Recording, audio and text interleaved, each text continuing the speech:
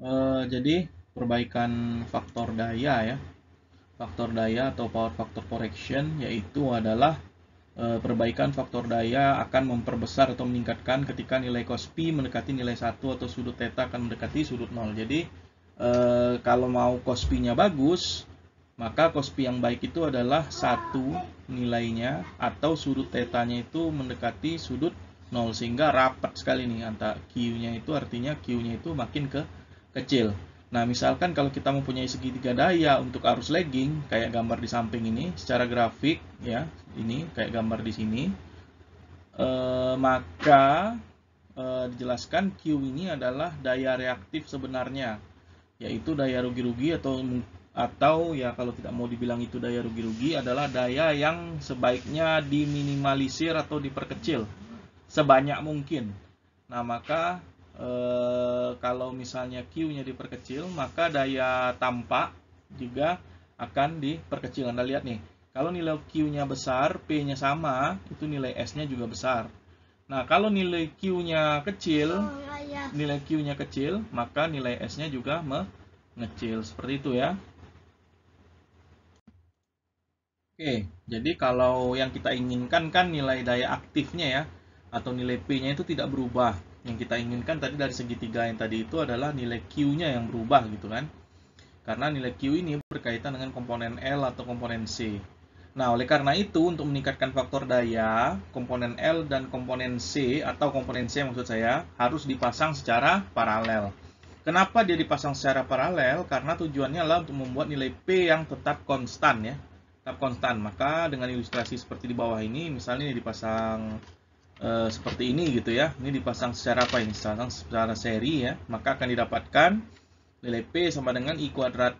Nilai P ya atau daya aktifnya adalah I kuadrat R atau I efektif kuadrat R ya. I efektif kuadrat R gitu ya. Dengan I efektif R itu sendiri adalah ya I efektif untuk bagian R ya adalah V efektif dibagi R tambah J omega L ya. V efektif dibagi R tambah J omega L. Nah, seperti itu. Nah, tadi kan jika komponen yang dipakai memperkecil Q, kan tadi kan ada R sama L yang seri kan ya, misalnya tadi kan. Sehingga L ini sebagai daya reaktifnya kan, daya reaktifnya L ini. Nah, kalau kita ingin memperkecil nilai Q, maka kita perlu memberikan counternya, counternya counter dari L yaitu C. Kan kemarin Anda sudah belajar ya bahwa L ini dengan C ini saling memperkecil. Nah, tetapi jika misalnya C-nya ini kita pasang secara paralel, ini Anda lihat ya, ini semuanya terpasang secara paralel. Maka uh, persamaannya menjadi seperti ini. Ini kan persamaan P ya. Persamaan P pun waktu DC pun ya I kuadrat R kan ya. I kuadrat R, ini ini bukan hanya R ya, tapi Z ini sebenarnya. Z ini ya karena gabungan dari R, e, C, dan L. Ya, jadi I kuadrat Z sebenarnya, sehingga I efektif untuk bagian R adalah V efektif per R tambah J omega L dikurang seper omega C. Nah, dari sini Anda bisa sudah bisa lihat nih R tambah J omega L, e, omega L dikurang seper C omega C ini itu dia akan memperkecil nilai P ya. Atau bukan memperkecil, maksud saya merubah nilai P lebih tepatnya merubah nilai P sehingga yang kita tidak menginginkan kan nilai P itu berubah ya. Kita tidak menginginkan nilai P itu berubah. Nah, maka untuk memperbaiki faktor daya, maka kita perlu memasang C ini secara paralel ya, secara paralel sehingga P-nya tidak berubah ya. Karena perbaikan faktor daya itu e, tercapai apabila nilai P tetap tetapi nilai Q-nya yang berkurang seperti itu. Nah, jadi kalau komponen C ini misalnya dipasang secara paralel ya, ini Anda sudah lihat C-nya dipasang paralel sementara R sama L-nya ini seri tetap ya. Jadi C ini benar-benar digunakan untuk mengkompensasi daya reaktifnya. Maka R sama L ini tetap dia tidak akan berubah. Ini R tambah J omega L tetap nilai P-nya itu. Sehingga dalam e, se semua kasus nilai P-nya itu tidak akan berubah ya, tidak akan berubah tetap nilai P-nya itu adalah R tambah J omega L. Nilai P-nya itu R tambah J omega L sehingga nilai P-nya ini kalau R-nya ini sama nilainya, itu P-nya tidak akan berubah gitu ya. Tidak akan berubah. Nah, dengan nilai P yang tetap, dan penambahan komponen C tentunya akan memperkecil daya reaktif. Ini kalau tadi secara uh, matematis ya kita lihat. Nah ini secara kita lihat secara grafis. Ini secara grafis. Jadi ini yang uh, S awal ya atau daya semu atau daya tanpa awal itu besar kan dengan nilai Q yang juga besar. Ini nilai Q-nya segini. Ya, nilai Q-nya segini. Nah, ketika kita ingin mengecilkan nilai Q menjadi Q aksen, maka kita perlu memberikan Q double aksen untuk mengkompensasinya. Nah, ini kalau komponen ini kan dia seperti ini gambarnya ya. Seperti ini. Sehingga Q uh, ini yang menjadi uh, komponen C-nya. Q double aksen ini bukan Q aksen ya. Ini Q double aksen. Sehingga ini Q double aksen, ini Q aksen ya. Sehingga nanti dia dari Q yang panjang ini, dia akan terkompensasi menjadi pendek dihilangkan oleh yang C ini ya sehingga menjadi Q aksennya aja. Nah, Anda lihat nilai S-nya yang awalnya sebesar ini dikombinasi dengan nilai S aksen yang dari uh, komponen C sehingga menjadi X aksen yang pendek ini. Sudutnya juga mengecil, sudutnya juga mengecil ya. Sudutnya Anda lihat nih, dari yang awalnya S aksen, eh sorry S biasa besar dengan dikompensasi memberikan Q double aksen untuk ini, maka Q aksennya menjadi ke kecil. Sehingga syarat untuk memperbaiki faktor daya itu adalah diperkecil sudutnya dan diperkecil nilai daya reaktifnya, eh, ya daya reaktifnya gitu ya, sehingga S-nya ikut juga mengecil. Nah, sehingga untuk meningkatkan power faktor satu rangkaian, e-lagging dilakukan dengan menambahkan atau memparalelkan komponen C, seperti itu. Nah, kalau tadi kan kita berbicara arusnya eh, lagging ya, atau tertinggal. Jadi kalau lagging atau tertinggal, faktor daya itu dikompensasi dengan uh, memberikan daya uh, reaktif yang dari komponen C. Nah, bagaimana kalau arusnya leading? Ini arus leading seperti ini ya, arus leading. Maka kita melakukannya dengan menambahkan atau memparalelkan komponen L. Jadi kalau misalnya lagging, itu kita berikan komponen C. Kalau misalnya leading, itu berikan komponen L. Prosesnya sama kayak tadi ya. Pokoknya kita ingin dia itu dari daya reaktifnya yang besar nih Q yang semua nih ya Q besar ini semua dengan S yang juga besar ya kita kecilkan tapi nilai P tidak berubah ini nilai P kan kita kecilkan sehingga nilai P tidak berubah nah nilai S nya yang awalnya panjang ini menjadi S aksen ini dengan memberikan counternya atau S double aksennya seperti ini seperti itu ya sehingga nilai Q yang panjang ini kita reduce atau kita kecilkan menjadi Q aksen saja. Sehingga kalau Q-nya menjadi kecil, sudutnya juga menjadi kecil nih Q aksennya. Tapi nilai P-nya tetap seperti itu. Ingat ya, saya ulangi, kalau misalnya arusnya lagging, tadi kita berikan komponen C. Kalau arusnya leading, kita berikan komponen L. Seperti itu. Nah, ini ada contoh latihan ya. Nah, ini juga akan masuk ke dalam ujian ya. Jadi nomor 95 ini masuk ke dalam ujian. Contoh nih, Eh, faktor daya suatu beban yang telah dikoreksi adalah 0,9 lagging dengan cara penambahan 20 eh, kPAR kapasitor paralel. paralel. Jika daya akhirnya adalah 185 kPa, ini daya berarti kalau kPa berarti dia itu adalah daya semu ya. Daya semu ini adalah nilai kapasitornya. Maka tentukan segitiga daya sebelum diperbaiki atau dikodeksi. Jadi Anda disuruh nyari nilai Q sebelum diperbaiki dengan Anda mengetahui nilai Q aksen. Ya, Anda mengetahui nilai Q aksen. Nah, nilai Q aksen eh, Anda cari dulu ya, nilai Q aksennya Anda cari dulu. Sorry, yang maksud saya yang Anda ketahui adalah nilai QC ya, QC. Nah, Anda tahu nilai QC, Anda tidak mengetahui nilai Q dan Anda tidak mengetahui nilai Q aksen. Nah, gimana caranya? Caranya Anda harus mengetahui dulu nilai Q aksen. Nah, mencari nilai Q aksen itu dengan cara uh, Anda cari dulu uh, nilai P-nya dan bisa juga Anda cari dulu nilai Q-nya. Nah, untuk rumus mencari Q adalah S dikali sin uh, theta. Nah, karena di sini Q aksen, maka S-nya pun adalah S aksen. Nah, sinnya sin theta. Nah, sin theta, kita harus tahu dulu berapa nilai theta ya. Nah, Anda tahu nilainya adalah 0,9 lagging, di mana theta-nya adalah 26 derajat. Nah, cara mencarinya adalah ini arcus cos theta ya arcus cos theta sehingga nilai theta ini didapatkan 26 derajat ya Anda cari pakai kalkulator ya arcus cos theta sehingga tetanya didapatkan 26 derajat nah maka Anda bisa cari nilai P nilai P itu adalah S aksen kali cos theta cos theta ya nilai S dikali cos theta. Nah, di mana nilai S itu adalah 185K ya, 185.000 ya, ini maksudnya. Cos 26 derajat. Ya, Anda kalikan aja 185 kali cos 26 derajat yaitu 166,5 kW atau 166,5 kilowatt. Lalu Anda cari lagi nilai Q aksen. Q aksennya adalah S aksen dikali sin aksen ya. S aksen dikali sin theta uh, aksen. Nah, sehingga didapatkan nilainya adalah 185K sin theta. Dapatkanlah nilai uh, uh, Q-nya adalah 81 kVAR lagging. Nah, Anda sudah tahu nilai Q aksen, Anda tahu nilai QC, maka Anda bisa mencari nilai Q-nya. Berarti Q, Q sama dengan QC ditambah Q aksen ini Q dikali tambah Q aksen sehingga dapatlah 81 tambah e, 20 maka dulunya sebelumnya nilai KVAR itu adalah 101 sebelum ditambahkan e, sebelum ditambahkan kapasitor yang diparalelkan. Ya.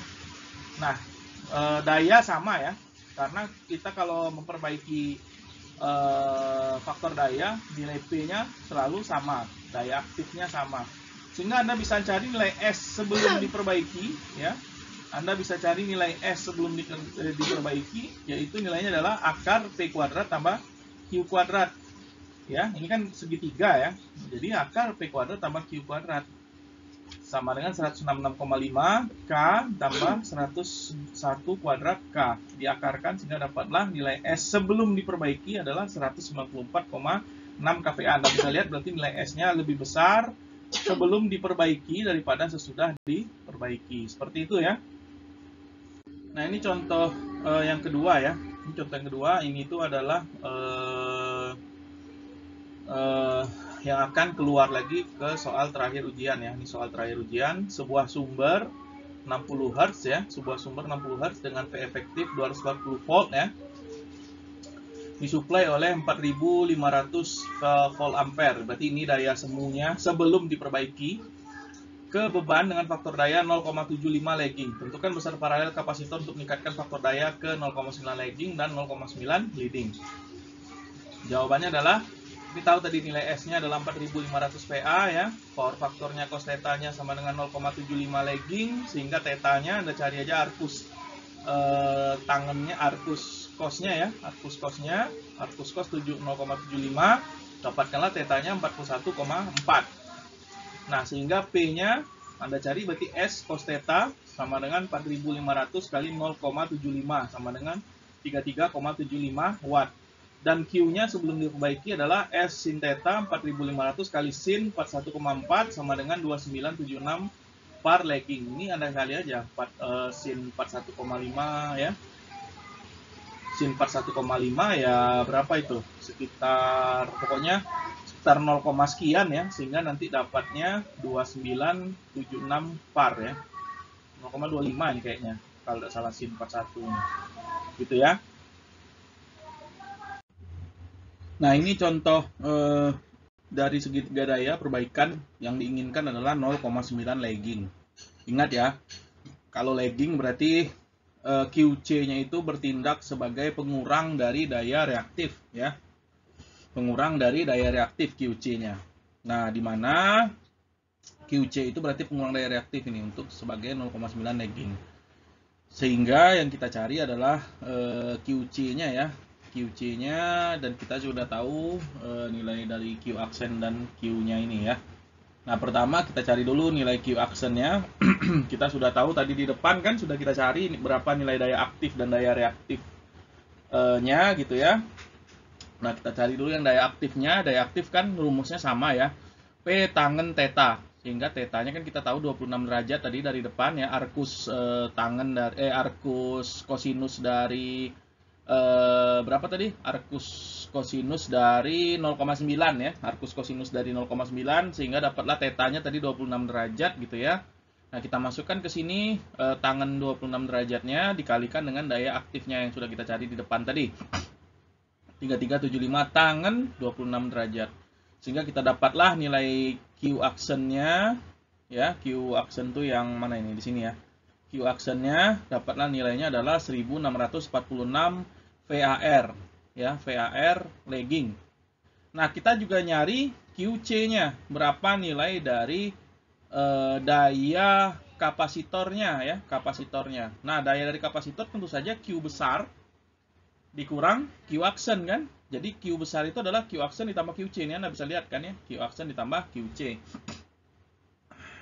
Nah, sehingga Q besar tadi eh, Q besar tadi kita sudah tahu. Q besar adalah eh, QC ditambah Q aksen sehingga Q eh, QC-nya adalah Q besar dikurang Q aksen nih. Q besar dikurang Q aksen. Sehingga 2976 tadi Q besar kita sudah tahu 2976 dikurang 1646 jadilah 1330 VAR leading ya untuk QC-nya. Nah, dari QC ini kita bisa mencari nilai XC-nya ya. Rumus umumnya adalah QC sama dengan V kuadrat efektif dibagi XC. Di mana XC-nya ya tinggal Anda balik ya. Ini naik ke atas, ini turun ke bawah kan. Sehingga XC adalah V kuadrat efektif dibalik dibagi QC sehingga dapatlah 240. Tadi di soal nih ya, 240 kuadrat dibagi 1330 yang ini. Sama dengan 43,3 43,3 Q uh, XC-nya. Nah, dari XC ini Anda tahu di pelajaran sebelum-sebelumnya bahwa XC sama dengan 1 per omega C. Sehingga uh, dari nilai C C-nya Anda bisa tahu ya, Anda bisa cari nilai C-nya adalah ini naik ke atas ya. Ini naik ke atas ini turun ke bawah. Jadi C sama dengan 1 per omega XC. Nah, omega omega itu adalah 2 pi uh, 2 uh, ini 2 PF ya, 2 PF. Jadi uh, sebentar nih kok warna kuning. Nah, jadi omega itu adalah uh, nih omega sama dengan uh, 2 PF. Yang mana F ini adalah frekuensi ya. Nah, di buku ini dipakai frekuensinya itu adalah 60 derajat 60 Hz ya. 60 Hz. Tapi di Indonesia frekuensi kita Anda sama-sama tahu adalah 50 cuma ya. Nah, itu. Nah, sehingga tinggal Anda masukkan 2pi kali 60 XC. XC tadi nilainya ada, seper 2pi kali 60 XC, sehingga Anda dapatkanlah nilai dari kapasitornya adalah 61,3 mikrofarad. 61,3 mikrofarad. Sehingga C-nya adalah 61,3 mikrofarad. Ini ditulis seperti ini. Ya, begitu. Nah, untuk slide yang ini, slide yang ini tuh Anda mencari 0,9 leading. Nah, kalau 0,9 leading, gambar itu kan seperti ini tadi ya. Dibalik dia, dibalik sehingga QC-nya itu menjadi Q besarnya ya. Jadi QC sama dengan Q ditambah Q aksen seperti ini. Eh, sama aja sih proses mencarinya sama seperti di depan. Tadi Q aksen sama dengan P tangan theta ya. Ini Q aksen sama dengan P tangan theta sehingga didapatkanlah 3375 eh, tadi tan 26 sama dengan 1646 PAR lagging. Sementara QC-nya Anda tinggal cari 29Q eh, besarnya ditambah Q aksen kan. 2976 ditambah 1645 ini. Nah, Anda masukkan lagi ke rumus yang tadi V kuadrat efektif per XC. Anda cari XC-nya sehingga dapatkanlah XC-nya 12,5.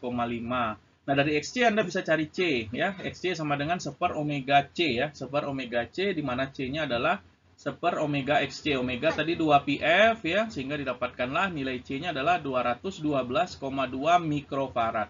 Sama ya, sama persis seperti yang di sebelah proses pengerjaannya. Ya. Nah, perbaikan faktor daya dapat menggunakan rumus yang telah didapatkan jika bebannya induktif dengan memerlukan penambahan komponen C yang dipasang paralel.